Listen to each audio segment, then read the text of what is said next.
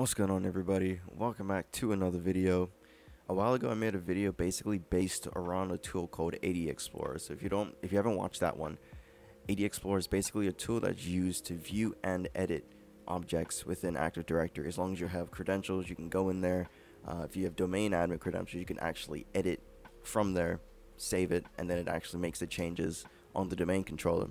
But um, it also had a snapshot feature option where you can take a snapshot of the environment or whatever is on AD and then you can open it up to view it for uh, offline use. Well, today I actually came across this neat tool where it takes that snapshot and instead of just using it again for AD Explorer to view for offline use, it converts that snapshot into Bloodhound compatible JSON files. So if you haven't seen the um, the Kerber roasting video that I made recently, we used Bloodhound and we saw how we used the Bloodhound Python and ingester uh, and how it gave us those JSON files and all we had to do from those JSON files is actually drag them over into the Bloodhound GUI.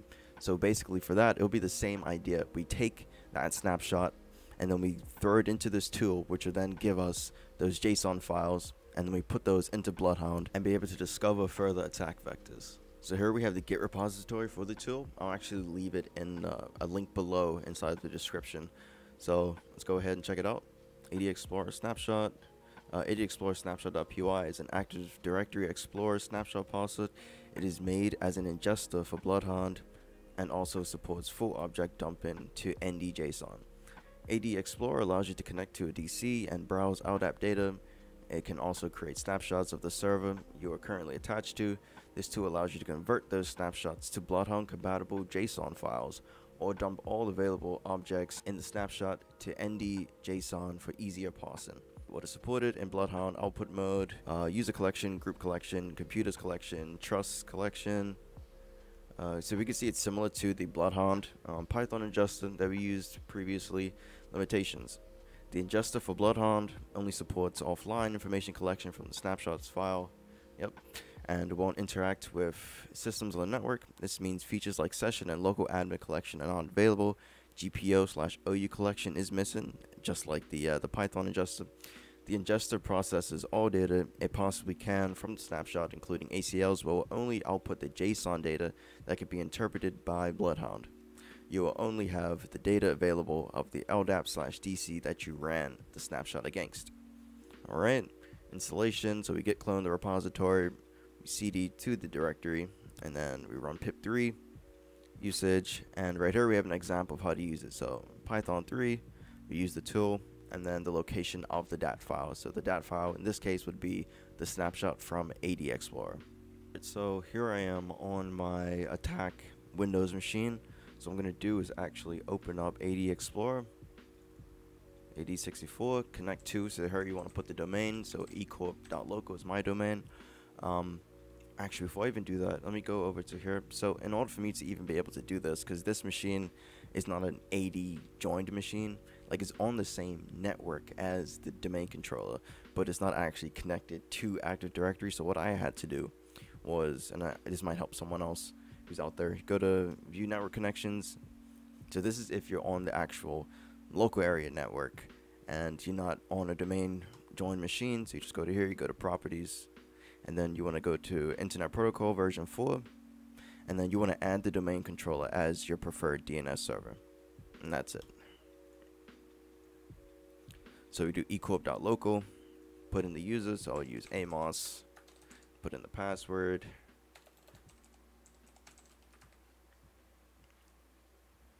and now we've connected now we want to create a snapshot so let's go to file create snapshot and uh, use defensive desktop. Okay so let's save it to our desktop.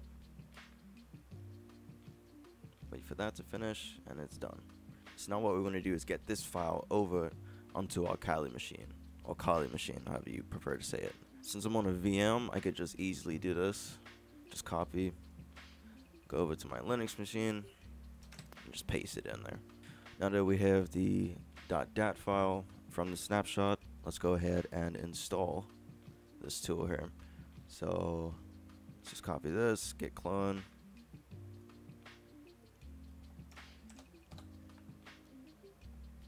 Okay, and now let's cd into there. AD Explorer, And now pip3. pip3 install dash dash user dot and wait for that to finish up. Alright, so finished. Now let's go ahead and do Python 3 AD Explorer and then just drag the DAP file into there or just specify the full path. Hit enter.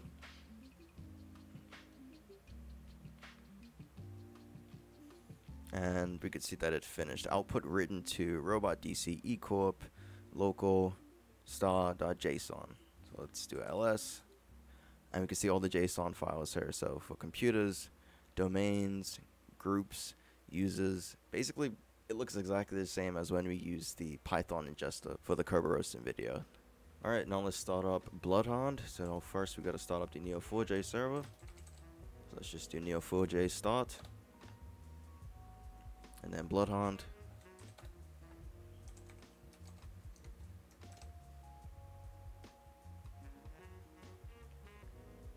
And a quick tip for when there's data in here, but you want to load a new batch of data, what you want to do is go up into here and then go down here and click uh, clear database so that it wipes all the information that was in here already.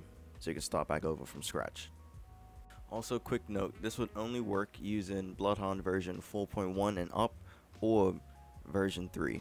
Now the reason that I'm saying this is because I was trying to do this demo earlier, but whenever I tried to drag the .json files onto Bloodhound, it just wasn't loading at all, and I was wondering, like, what is going on? So after about 30 minutes or so, um, I found out it was because I was using the version uh, 4.0.3, because at the time of this recording, on the, uh, what's the date? 13th of February, whenever you do an apt uh, install Bloodhound, it only installs version 4.0.3 and so that's the reason why it wasn't working because this only works with 4.1 and up or version 3 so actually let me see if I could show you what was going on. So if I just type bloodhound to start this up what I just installed version 4.0.3 it was even gonna open up. Okay it does. Let me log in real quick. Neo 4j put in the password log in and it's like, okay, cool, it's loaded up. Um, nothing's in here. And then we go over to upload data. And we see the JSON files right here. So I was just like trying to click these. And then it'll say upload complete, but it'll stay at 0%.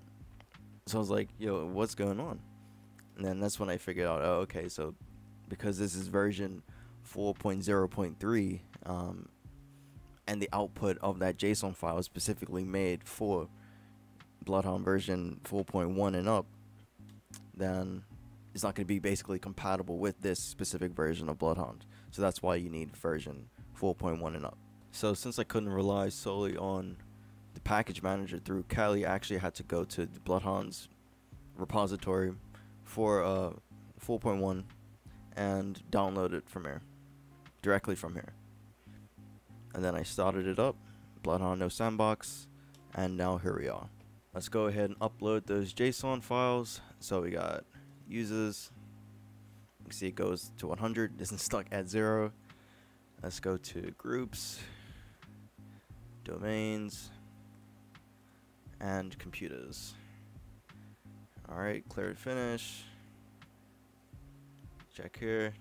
And we see the data's been updated. Let's refresh, and there we go. And now from here, we can go ahead and start making our queries. Let's go to analysis. Uh, we can go to find all domain admins. So now here we have listed all the domain admins within the domain. We can go to find principals with DC sync rights, select the domain.